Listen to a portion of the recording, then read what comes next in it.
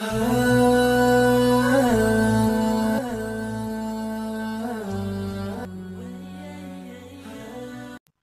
तेरा ही तो हरदम ए खुदा, करते रहें। हम पे लाजिम है, तेरी हमदो सना करते रहें। तू ही खालिक है, हमारा और राजिक भी तू। तेरे दर पर ही हमेशा हम सदा करते रहें। कुछ नहीं बनता है यारब तेरी रहमत के सिवा इसलिए। तेरे करम की हम दुआ करते रहें। हाँ वही एक नाम जो महबूब है तुझको बहुत। हम उसी एक नाम पर ये जा, फिदा करते रहें। असलकम वरहमतुल्लाहि वबरकातुहू। अज़ीज़ सामीन आज का ये दिलचस्प और अजीब गरीब किस्सा है किसान की अक्लमंद बेटी और तीन बूढ़ों का। आइए सुनते हैं सबक आमोज और दिलचस्प किस्सा। मैं गुजारिश करती हूँ, उससे पहले आप हमारे चैनल से टीवी को सब्सक्राइब कीजिए, बेल आइकन को उसके साथ दबाइए और नोटिफिकेशन पर प्रेस कर दें। डिस्क्रिप्शन में वीडियोस के लिंक है, उनको भी आप क्लिक कीजिए इस्लाम के हकबा से टीवी के साथ।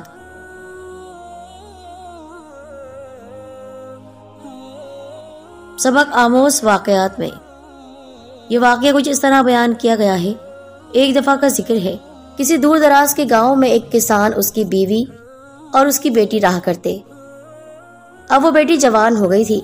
अल्लाह ताला ने उसे ना सिर्फ़ खूबसूरती से नवाजा हुआ था, बल्कि वो खूबसीरत भी थी और यहाँ तक कि बहुत समझदार भी।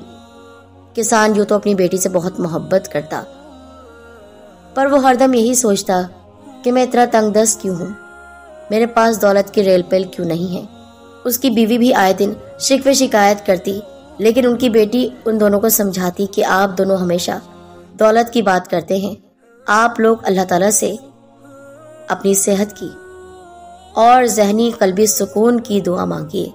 अगर आप ये दुआ मांगेंगे इन अल्लाह ताला हमारे लिए रास्ते खोल देगा। लेकिन वो लोग उसकी बात उस वक्त नहीं समझते थे। वैसे तो वो दोनों हर वक्त अमीर होने के सपने देखते, लेकिन फिर भी अल्लाह ताला ने उनके दिल को बहुत वसी किया हुआ था। यानी मेहमान नवाज़ बहुत थे। एक बार ऐसा हुआ कि किसान काम के सिलसिले में अपने घर से बाहर गया हुआ था। उस वक्त वो बीवी और उसकी बेटी घर में मौजूद थे। बीवी और बेटी अपने कामों में लगे हुए थे कि उन्हें ऐसा लगा बाहर कोई बैठा हुआ बातें कर रहा है। बेटी ने कहा, अम्मी, आप बाहर जाकर देखें, मुझे ऐसा लगता है कोई मुसाफिर है। और अगर आप उनसे पूछ लेती हैं कि वो घर में आ जाए, खाने पर उनको मधु करती हैं तो अब बाज़ार इस बात से बहुत खुश होंगे। बीवी ने कहा, लेकिन बेटी, हमारे घर में तो खाने के लिए कुछ भी नहीं है। हम उन्हें क्या खिलाएँगे? तो वो कहने लगी, आपको अल्लाह ताला की ज़ात पर तवक्ल होना चाहिए। आप जानती हैं ना कि अब्बा जान इस बात को कितना ज़्यादा पसंद करते हैं कि हमारे घर में कोई मेहमान आए और कोई भी मुसाफिर या परदेसी खाली पेट हमारे घर से नहीं जाना चाहिए। हाँ बेटी, तुम ठीक कहती हो। माँ ने ये बात सुनी तो वो बाहर आ गई। बाहर आई तो देखा वो तीनों महवे गुफ्तगु थे। उनके होलिये से ही लग रहा था कि वो बहुत भूखे हैं। और बहुत दूर का सफ़र तय करके आए हैं। उनके करीब आई। सलाम दुआ के बाद उसने कहा, लगता है आप बहुत तवील सफ़र तय करके आए हैं और थके हुए हैं। अगर आप बुरा न माने तो मैं आपको अपने घर खाने पर मदू करती हूँ।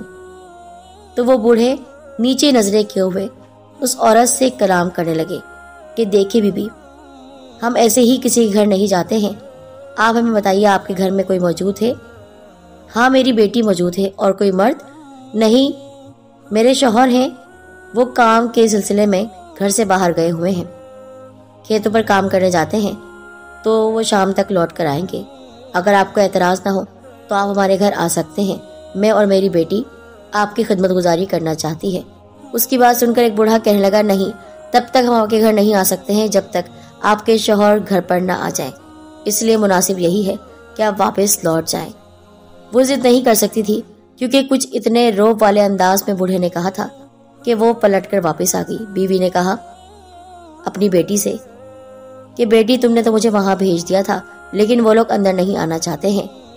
तो बेटी कहने लगी, कोई बात नहीं, आप फ़िलहाल खाना बनाने की तैयारी करें और अब्बा जान का इंतज़ार करें। उसको हैरत तो इस बात पर हुई कि अगर वो उसके घर भी नहीं आना चाहते तो फिर वहाँ पर उन्होंने क्यों अपने आप को तकलीफ़ देने के लिए बिठाया हुआ है? कोई ना कोई तो बात ज़रूर है कि मेरे घर से नहीं जा रहे हैं। लेकिन वो उनसे कलाम अब नहीं करना चाहती थी, क्योंकि वो वैसे ही उससे बात नहीं कर रहे थे और झिझक रहे थे। बहरहाल वो अपने कामों में लगी रही। फिर उसने देखा, वो तीनों बूढ़े उठे और अपनी इबादत में लग गए। इतनी तवील नमाज़ उसने ज़िंदगी में पहली बार देखी थी। यहाँ तक कि शाम का वक्त हो गया। शाम को किसान खेतों से वापस लौटा। तो वह हैरत में डूब गया, क्योंकि उसके घर से बाहर तीन बूढ़े जाय नमाज़ बिछाए अपनी इबादत कर रहे थे। वो उनको देखता हुआ अपनी बीवी के पास आया और पहली ही फुर्सत में उसने सवाल किया, ये तीनों परदेसी मेहमान बाहर जो अपनी इबादत में लगे हुए हैं, वो घर में क्यों नहीं आए? क्या तुमने उनसे खाने का नहीं पूछा, जबकि तुम जानती हो कि हमारे पास आने वाला कोई भी मेहमान ऐसे ही नहीं जाता है? बताओ क्या तुमने उनकी मेहमान नवाजी की? और वो घर से बाहर क्यों नमाज़ अदा कर रहे हैं? क्या तुमने उन्हें घर नहीं बुलाया? बीवी ने कहा, कि मैं उनसे पूछने गई थी। मैंने उन्हें खाने की दावत भी दी थी। और मैंने उनसे कहा था, हमारे पास एक मेहमान खाना है। वहाँ आकर आप इबादत भी कर सकते हैं, नमाज़ भी पढ़ लें और खाना भी खा लीजिए, मगर उन तीनों ने किसी ऐसे घर में खाना नहीं खाना, जहाँ कोई मर्द मौजूद ना हो। अब आप यहाँ पर मौजूद नहीं थे तो इसी वजह से मैंने उन पर ज़ोर ज़बरदस्ती नहीं की। यह सुनकर किसान बोला, तुम उनको दोबारा दावत दो और बताओ कि मेरा शोहर वापस लौट आया है। तो वो औरत कहने लगी, देखिए, मैं चली जाती और उनसे कलाम भी कर लेती, लेकिन उनकी नज़रें नीची हैं। वो औरत से इतनी ज़्यादा बात नहीं करते। बेहतर यही है कि आप जाएँ और इज़्ज़त के साथ उन्हें घर पर लेकर आए। किसान ने बीवी की बात सुनी तो दोबारा तीनों के पास गया और बोला कि अभी कुछ देर पहले जो खातून आई थी, मैं उनका शौहर हूँ। उस वक्त तो आप घर पर नहीं आए, क्योंकि कोई मर्द नहीं था। अब मैं वापस आ चुका हूँ, आप तशरीफ़ ले आइए। और आपको हम खाने पर मधु करते हैं। आप हमारे मेहमान बने। उससे हमें बहुत खुशी होगी। किसान की बात सुनकर बूढ़ा बोला, जनाब, हम तीनों इकट्ठे आपके घर खाना खाने नहीं आ सकते। आपको चाहिए कि हम तीनों में से किसी एक को अपने साथ ले जाइए। और खाना खिला दे किसान बूढ़े के जवाब को सुनकर बहुत हैरान हुआ। अजीब बात की थी। उसने कहा, आप तीनों इकट्ठे तशरीफ़ क्यों नहीं लाते? उस पर बूढ़े ने जवाब दिया, हम तीनों में से कोई एक जहाँ मौजूद हो, बाकी दोनों वहाँ से चले जाते हैं। किसान ने कहा, मैं आपकी बात का मफहूम नहीं समझा हूँ। क्या आप वजाहत के साथ मुझे अपनी बात समझा सकते हैं? क्या आप तीनों बूढ़े हमारे घर क्यों नहीं जा सकते हैं? और अगर कोई अकेला जाता है तो वो क्यों जाता है? उनमें से एक बूढ़े ने अपने एक साथी की तरफ़ इशारा किया और बोला, जनाब, ये जो बूढ़ा आपको नज़र आ रहा है, ये दौलत है। और ये जिस घर में जाता है, वहाँ के अफराद को दौलत की रेल पेल हो जाती है। फिर दूसरे की तरफ़ इशारा करते हुए बोला, ये ये फतह है, यानी कामयाबी है। और ये जिस घर में जाए, उस घर के अफराद हर मैदान में कामयाब होते हैं। और आप आप कौन हैं? वो बोला, मैं मोहब्बत हूँ। मैं जहाँ चला जाऊँ वहाँ के मकीनों के दिल मोहब्बत से भर जाते हैं इसलिए। तुम घर जाओ और अपनी बीवी से मशवरा करो कि तुम्हें हम में से किसकी ज़रूरत है। किसान तो पहले ही हैरान था। इतनी अजीबोगरीब बातें ज़िंदगी में पहली बार सुनी थी। अब वो घर लौट आया। उसकी बीवी खाने पर इंतज़ार कर रही थी कि अभी जाएगा और फ़ौरन उन बूढ़ों को घर पर ले आएगा और खुशी खुशी वो खाना खा लेंगे। लेकिन ये क्या? वो उनके बगैर आया। उसने कहा, क्या हुआ? तो वो बोला कि मैं तो बहुत ही ज़्यादा हैरान और परेशान हूँ कि बाहर जो बूढ़े हैं, वो कोई आम इंसान नहीं है। उनमें से एक दौलत है, एक कामयाबी है और एक मोहब्बत है। अब बताओ, हमें क्या करना चाहिए? बीवी ने कहा, हम दौलत को अपने घर खाने पर बुला लेते हैं, ताकि हमारी जो परेशानी है, माली परेशानी, रिस्क की तंगी जो है, वो दूर हो जाए। पैसे की मुश्किल हल हो जाए। ये सुनकर किसान बोला, हमें चाहिए कि हम कामयाबी को बुलाएँ। हमें पैसे से ज़्यादा कामयाबी फतह की ज़रूरत है, इसलिए हमें फतह को अपने घर बुलाना चाहिए। अब दोनों बहस किए जा रहे थे। ज़ाहिर सी बात है, उन्हें पैसे की भी ज़रूरत थी, कामयाबी की भी, लेकिन किसी एक को चुनना था। एक को चुनने के लिए बहुत बड़ा फैसला करना था तो वो दोनों बहस करने लगे। कोई कह रहा था कि पैसे की इतनी मुश्किल है, तंगी है हमारे घर में। पैसे आ जाए, दौलत आ जाए, दौलत होगी तो सब कुछ हम हासिल कर सकते हैं। जबकि दूसरा कह रहा था कि कामयाबी के बगैर कुछ भी मुमकिन नहीं इंसान कामयाब हो तो वो सब कुछ हासिल कर सकता है। जब दोनों ये बहस कर रहे थे तो कमरे से उनकी बेटी निकल कर आई। बेटी ज़्यादा बड़ी नहीं थी। अभी सिर्फ़ उसकी उम्र सोलह साल थी। उसने माँ बाप की गुफ्तगु सुनी। तो उसने कहा, आप दोनों कितनी गलत बात कर रहे हैं। आप क्या समझते हैं? दौलत से सब कुछ खरीदा जा सकता है। आज आप दुनिया के सबसे अमीर इंसान को भी देख लें तो उसको कोई ना कोई परेशानी लाक होगी। हो सकता है वो चैन से नहीं सो पाता हो हो सकता है उसे ऐसी बीमारी हो कि जिसकी वजह से वो उम्दा किस्म का खाना भी नहीं खा सकता हो। तो क्या फ़ायदा ऐसी दौलत का कि वो दौलत बीमारी में लग रही है, इलाज में लग रही है और वो कुछ भी नहीं कर पा रहा, अपनी खुशी भी हासिल नहीं कर सकता। बाप ने बात सुनी तो उसने कहा, बेटी, मैं यही बात तो कह रहा हूँ कि पैसे से ज़्यादा हमें कामयाबी की ज़रूरत है, इंसान अगर कामयाब हो तो बस उसके पास सब कुछ है। दुनिया की हर शय है। तो बेटी ने खामोशी से बाप को देखा। आप दोनों इतने मेहमान नवाज़ आपका दिल इतना खुला, लेकिन आज आप किस तरह लड़ रहे हैं? आप वो चीज़ पाना चाहते हैं, जो कि वक्ती है। कामयाबी रहती है, चली जाती है। दौलत होती है, और दौलत तो हाथ का मैल है, कभी भी खर्च हो जाती है, लेकिन तीसरी बात जो की गई थी, वो थी मोहब्बत। अगर हम मोहब्बत को अपने घर बुलाएँ तो हमारे दिलों में इतना इत्मीनान होगा कि हम दौलत और कामयाबी की परवाह नहीं करेंगे, बल्कि मोहब्बत के रहने से हमारे पास सब कुछ होगा। बेटी अकलमंद थी। किसान को अपनी बेटी की बात बिल्कुल सही लगी। दोनों मियाँ बीवी जो अब तक लड़ रहे थे, बहस कर रहे थे, वो बेटी की बात से मुत्तफिक हो गए।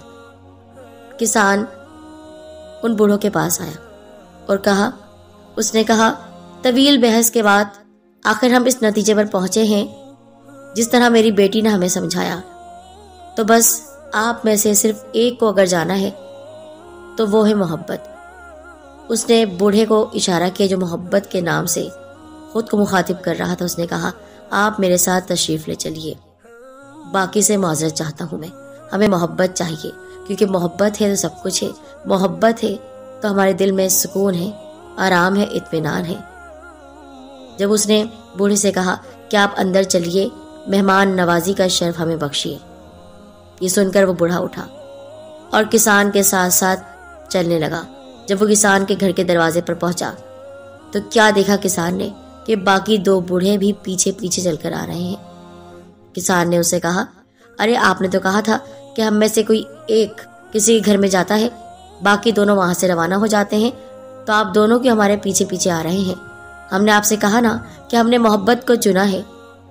तो वो बूढ़ा जिसका नाम मोहब्बत था, उसने कहा, तुमने बहुत उम्दा इंतखाब किया है, क्योंकि वैसे तो हम तीनों साथ नहीं रहते। अगर तुम दौलत को चुनते तो बाकी हम दोनों चले जाते। अगर कामयाबी को चुनते तो उनमें से एक ही तुम्हारे साथ अंदर जाता, लेकिन तुमने मोहब्बत को चुना। तुम्हारी बेटी ने बिल्कुल सही मशवरा दिया। मोहब्बत जहाँ जाती है, वहाँ दौलत और कामयाबी साथ साथ उसके पीछे जाती है। इसलिए तुम्हारा इम्तिहान लिया जा रहा था। किसान बहुत खुश हुआ कि उसकी अकलमंद बेटी ने उनको बिल्कुल सही मशवरा दिया और आज वो मोहब्बत के साथ साथ दौलत और कामयाबी को भी लेकर जा रहे हैं। जब वो तीनों अंदर दाखिल हुए तो उनकी मेहमान नवाजी की गई। और उस दिन से पहले जब उनके घर में इतनी तंगदस्ती थी, गुजारा भी मुश्किल था, फाको भरी ज़िंदगी थी। अल्लाह ताला ने उन्हें इतना नवाजा इतना नवाजा कि वो जो चंद एक मुसाफिर और गरीबों की मदद करते थे, आज उनके घर में भीड़ ही भीड़ थी, गरीबों की और फकीरों की। जब से वो तीनों बूढ़े उनके घर में रहने लगे, उनकी ज़िंदगी बदल गई, कामयाबी भी अता की गई और अल्लाह ताला ने उनको इतना नवाजा कि हर शख्स उन पर रश करने लगा। क्योंकि मोहब्बत उनके साथ थी। वो सब मोहब्बत से रह रहे थे। बेशक मोहब्बत जहाँ पर हो, वहाँ पर दौलत भी होती है, वहाँ पर कामयाबी भी होती है। लेकिन अफसोस, हम बंदे दौलत को चुनते हैं। लेकिन जहाँ दौलत है, वहाँ कामयाबी नहीं। और जहाँ मोहब्बत है, वहाँ मोहब्बत भी है, दौलत भी है और कामयाबी भी है। बात बहुत पते की है। अल्लाह ताला हम सबको अक्लमंद बनाए।